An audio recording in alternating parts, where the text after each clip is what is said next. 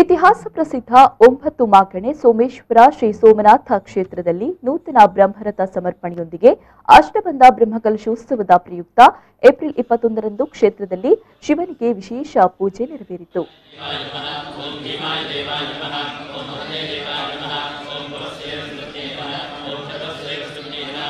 ಬೆಳಗ್ಗೆ ವಿಷ್ಣು ಹೋಮ, ರುದ್ರಹೋಮ ಹಾಗೂ ರಾತ್ರಿ ಪುಣ್ಯಾಹ, ಪ್ರಸಾದ ಶುದ್ಧಿ, ವಾಸ್ತು ರಾಕ್ಷೋಗ್ನ ಹೋಮ ವಾಸ್ತುಬಲಿ ಅಂಕುರಾರ್ಪಣೆ ಕ್ಷೇತ್ರದ ತಂತ್ರಿವರ್ಯರಾದ ವೇದಮೂರ್ತಿ ಬ್ರಹ್ಮಶ್ರೀ ನೀಲೇಶ್ವರ ಉಚ್ಚಿಲತಾಯ ಪದ್ಮನಾಭ ತಂತ್ರಿ ಅವರು ನೇತೃತ್ವದಲ್ಲಿ ನಡೆಯಿತು.